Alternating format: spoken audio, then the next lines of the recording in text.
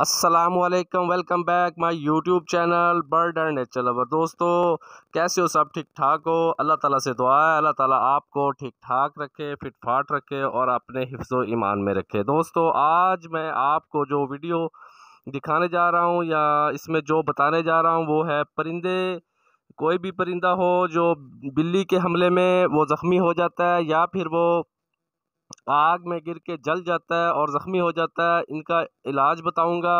इन अल्लाह के करम फजल से परफेक्ट इलाज है। आज़मा चुका हूँ। आप भी आज़मा के देखें। बताना आपको मकसूद इसलिए होता है, दिखाना इसलिए मकसूद होता है ताकि परिंदों का कम से कम नुकसान हो, आपके शौक़ का कम से कम नुकसान हो।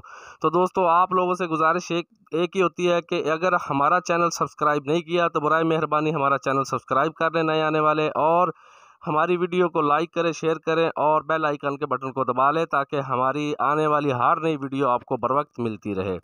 और दूसरी गुजारिश जो होती है परिंदा हजरात के लिए, जो शौकीन हजरात हैं, उनके लिए ये है कि वीडियो को स्किप ना किया करें। स्किप किए बगैर देखा करें, क्योंकि इसमें बहुत सारी बातें जो करनी होती हैं, वो ख़ास बातें करनी होती हैं और कुछ बातें आप स्किप कर जाते हैं जिस वजह से आपको समझ नहीं आती, फिर आप परेशानी से दो चार रहते हैं। तो दोस्तों, स्किप ना किया करें, बड़ी मेहनत से वीडियो बनाते हैं। मकसद सिर्फ़ चैनल सब्सक्राइब करवाना या व्यू या कोई और चीज़ लेना नहीं है। मकसद सिर्फ़ जान बचाना है, चाहे वो परिंदे की है, चाहे वो इंसान की है। चाहे वो बर्ड्स की है, आपके शौक़ की जान बचाना है। तो बर्ड्स की जान बचाने के लिए ये हम इतनी मेहनत करते हैं। आप अगर बिल्कुल सिर्फ़ सब्सक्राइब करने के लिए आए हैं तो ना करें, कोई टेंशन नहीं। हम सिर्फ़ परिंदों से प्यार करने वाले और परिंदों को प्यार करते रहेंगे। तो दोस्तों, परिंदा परवर लोगों से बस एक ही गुजारिश होती है कि वीडियो को स्किप ना किया करें। स्किप किए बगैर देखा करें तो इन आपको समझ आएगी, फ़ायदा होगा और फिर आप याद रखेंगे कि इन वाकई मेहनत की हुई है। अगर आपको वीडियो में मेहनत नज़र आए और ये हमारी बताई हुई बातें अमल करें और इससे फ़ायदा हो तो आप चैनल को सब्सक्राइब भी करें, फिर वीडियो को लाइक भी करें, शेयर भी करें। बस वीडियो स्किप ना किया करें। तो दोस्तों, चलते हैं अपनी वीडियो की तरफ़। सबसे पहले आते हैं कि अगर बिल्ली के हमले में आपका कोई बर्ड ज़ख्मी हो जाता है तो आपने करना क्या है? अगर कोई बच्चा, कोई बर्ड्स इकट्ठे रह रहे हैं, जैसे ये तीन चार हैं तो इनमें से कोई बिल्ली एक को ज़ख्मी कर देती है। तो सबसे पहले आपने क्या करना है, उसको ज़ख्म वाली जगह पे पायोडीन से धोना है। या सिपरेट से नहीं धोना, ये बात आपने ख़ास ख्याल रखनी है, सिपरेट से नहीं धोना। आपने पायोडीन से धोना है। पायोडीन से धोने के बाद आपने उस ज़ख़म में हल्दी और तेल का मिक्सचर बना के नरम नरम वो ज़ख़म वाली जगह में भर देना है। इन ज़ख़म वाली जगह पे जब हल्दी और तेल का मिक्सचर आप भर देंगे, उसके बाद दोबारा आपको इन अल्लाह के करम फजल से ये कोई चीज़ भी लगाने की ज़रूरत नहीं पड़ेगी।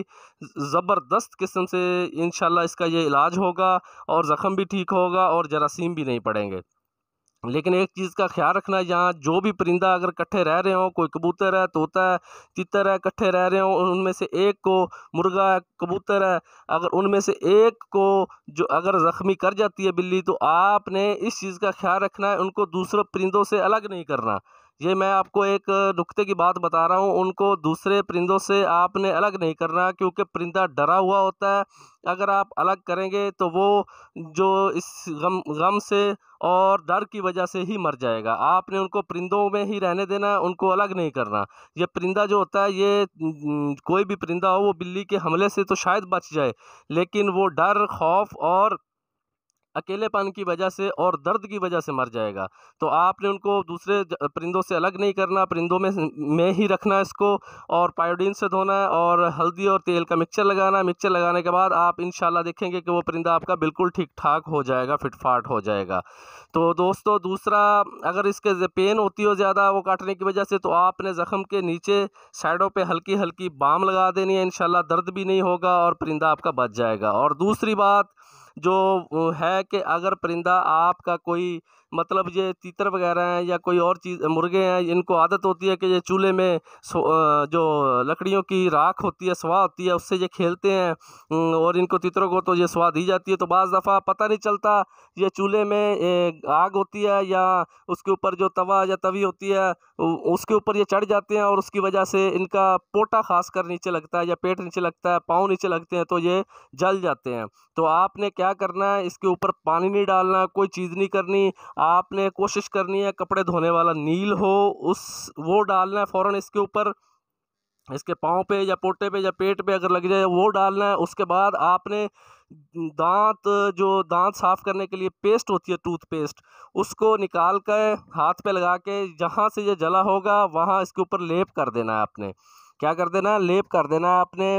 इससे इन अल्लाह के करम फजल से टूथपेस्ट जब आप जले वाली जगह पे लगाएँगे तो आपके परिंदे की जले वाली जगह वहाँ छाले वगैरह नहीं बनेंगे और उसको ठंडक पहुँचेगी। और अल्लाह के करम फजल से आपके परिंदे बिल्कुल ठीक ठाक हो जाएँगे, फिटफाट हो जाएँगे।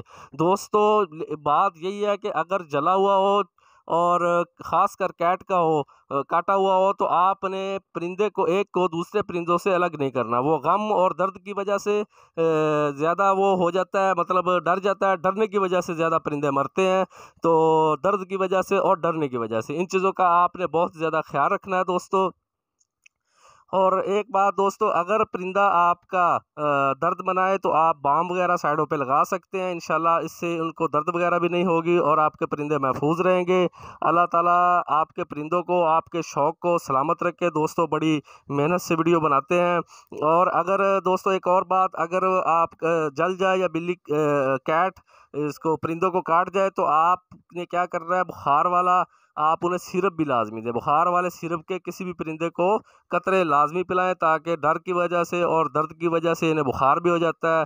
वो उससे भी परिंदा हमारा ज़ाया ना हो। दोस्तों, अगर वीडियो आपको पसंद आए तो हमारा चैनल सब्सक्राइब करें, लाइक करें, शेयर करें, अपना और अपने इर्द गिर्द सबका ख्याल रखें। अल्लाह हाफिज़।